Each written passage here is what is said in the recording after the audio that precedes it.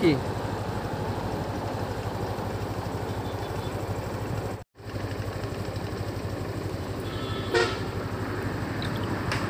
দর্শক, মাগুরার ঘটনার পক্ষ থেকে আপনাদেরকে আরও একবার স্বাগত জানাচ্ছি। আমি কাশিমুর রহমান শ্রাবণ। আমি আপনাদেরকে মাগুরা জেলার যে ইতিহাস, ঐতিহ্যবাহী জায়গাগুলো আছে, সেই জায়গাগুলোকে আপনাদেরকে ইউটিউব এবং ফেসবুক পেজের মাধ্যমে দেখানোর চেষ্টা করব। তারই ধারাবাহিকতায় আজ আমি এসেছি মাগুরা সদর উপজেলার মঘি ইউনিয়নের টিলা গ্রামে। তো দর্শক আপনারা জানেন যে এই টিলা গ্রামে ভাতের ভিটা নামের একটি ঐতিহ্যবাহী স্থান রয়েছে। তো সেই ভাতের ভিটায় আপনাদেরকে আমি নিয়ে এসেছি।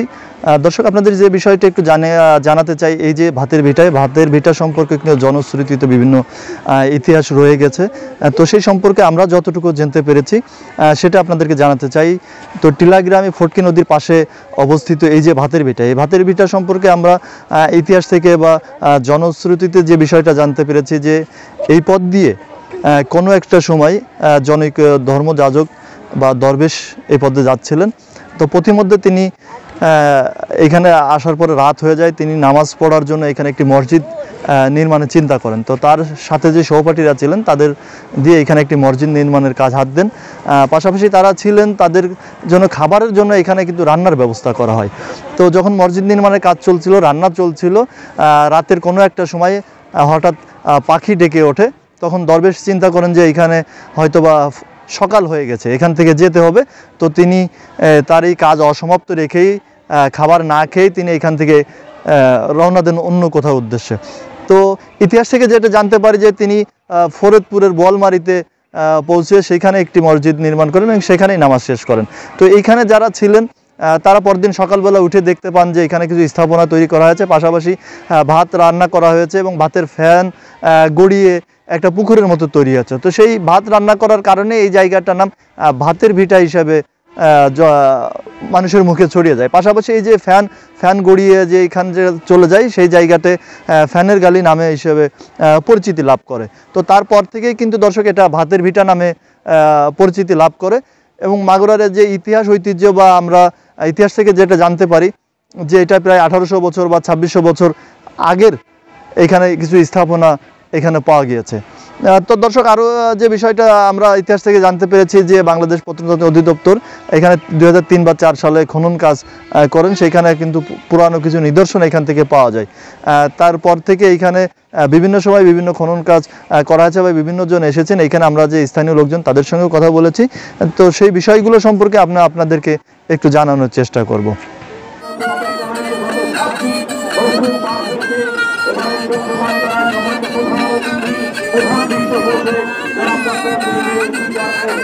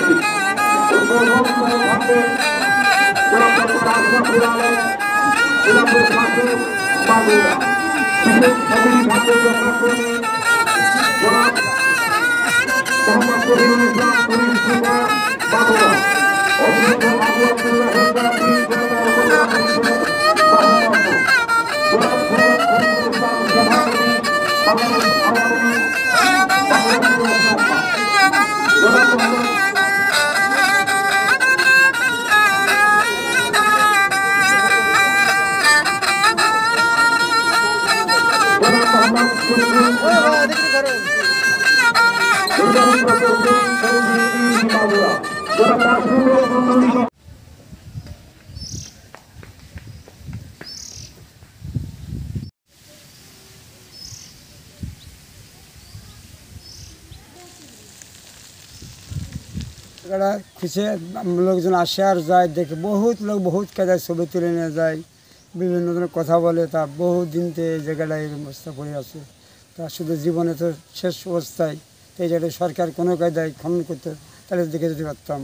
সে একটা আশা আকাঙ্ক্ষা আমাদের, তাই।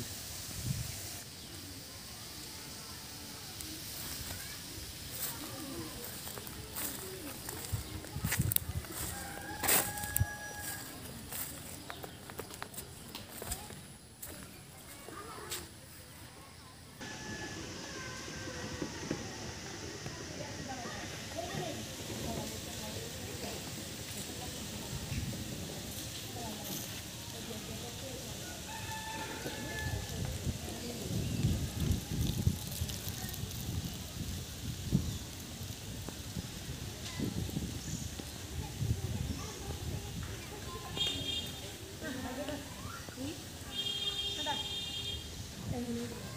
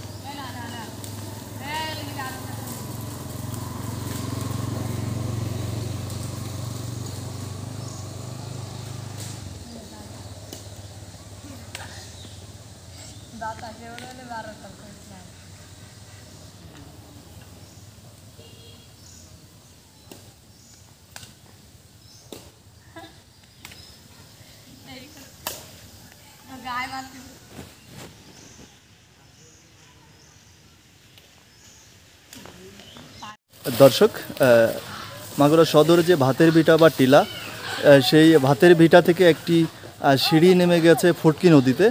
তো এইখানের ইতিহাস বা এখানের যারা আছেন, জনশ্রুতি আছে তাদের ধারণা যে ভাতের বিটার থেকে যে সিঁড়িটি এই ফটকি নদীতে চলে এসেছেন, এই সিঁড়িটি মূলত ওই ভাতের বিটার অংশ বিশেষ বলে তারা ধারণা করছেন যে এই সিঁড়ির যে ইট এবং ভাতের বিটার যে ইট, সেই ইট একই ইট। যে কারণে তারা ধারণা করছেন যে ওইখান থেকেই মূলত এই সিঁড়িটি এই নদীতে এসেছিল ফটকি নদীতে। এইখানে যে বটগাছ, এই বটগাছের পাশেই ফটকি নদীতে আমি আপনাদেরকে সেটা একটু দেখানোর চেষ্টা করব। আপনারা দেখতেই পাচ্ছেন যে যে সিঁড়ি, সেইখানে নদীর যে ঘাটটি, এই ঘাটে কিন্তু অনেকে গোসল করছে, আপনারা দেখতেই পাচ্ছেন। তো আমরা আপনাদেরকে একটু দেখানোর চেষ্টা করব।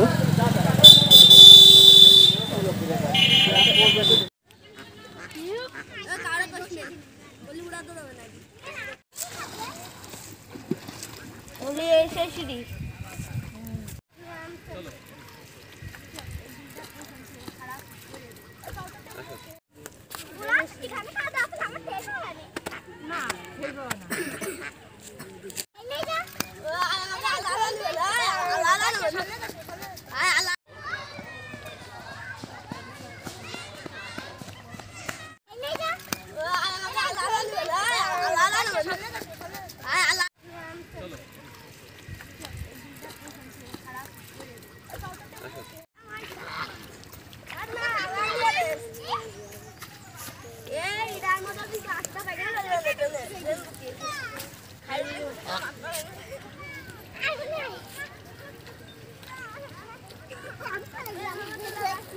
আমি ওটা চালু যাচ্ছি না ডুবতে গেছে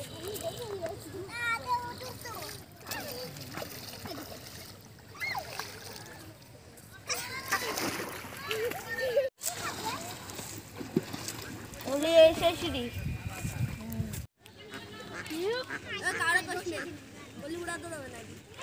মাগুরা জেলা দেশের দক্ষিণ পশ্চিমাঞ্চলের একটা গুরুত্বপূর্ণ জেলা। এটিকে ফরিদপুর পার হওয়ার পরেই পাওয়া যায় বলে দক্ষিণ পশ্চিমাঞ্চলের প্রবেশদ্বার বলা এই জেলাটির অন্যান্য বৈশিষ্ট্য হলো যে এই জেলাটি পুরো একটা সমতল ফ্ল্যাটল্যান্ড। পুরো জমিতেই ফসল হয়, বছরে তিনটা বা চারটে ফসল হয়। এই জন্য প্রাগৈতিহাসিক কাল থেকেই এটি এখানে জনবসতি ছিল। জনবসতি পরিপূর্ণ একটি জায়গা অঞ্চল এটি। কখনো বন্যা হয় না। প্রাকৃতিক দুর্যোগ এখানে প্রায় নেই বললেই চলে। প্রচুর ফসল হয়, যার ফলে জনবসতির দিক থেকে অত্যন্ত ঐতিহ্যপূর্ণ একটি জায়গা এই মাগুরা ঐতিহাসিকভাবে ও মাগুরা গুরুত্বপূর্ণ। দুটো উদাহরণ দেখলে আপনারা বুঝতে পারবেন যে মাগুরার বা শালিকায় ভাতের বিটা নামে একটি জায়গা আছে। সেখানে বৌদ্ধিক আমলের যে কিছু নিদর্শন আছে, যেটি খ্রিস্টপূর্ব ছয়শো থেকে সাতশো বছরের আগে, অর্থাৎ আজ থেকে প্রায় পঁচিশশো থেকে সাতাশশো বছর আগে, তার মানে ওইখানে সভ্যতা ছিল, ওই সময়ে সভ্যতা ছিল। এটা এটা একটা প্রমাণ।